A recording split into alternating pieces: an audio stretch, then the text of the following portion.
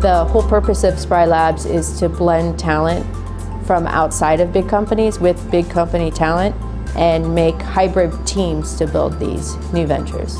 What we do is solicit and have intimate relationships with big companies who see new tech frontiers coming at them and don't necessarily have the people or time to get off the corporate freight train. So we think we bring three things to the table to big companies. The first is speed.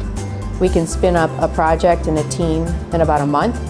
The second is rigor. We take uh, something that typically takes 18 months to three years to build internally, pull it outside of the walls of the company and build it within guardrails that allow them to um, do that in three to six months. And then the focus is really the unique piece, starting with the market focus versus existing state.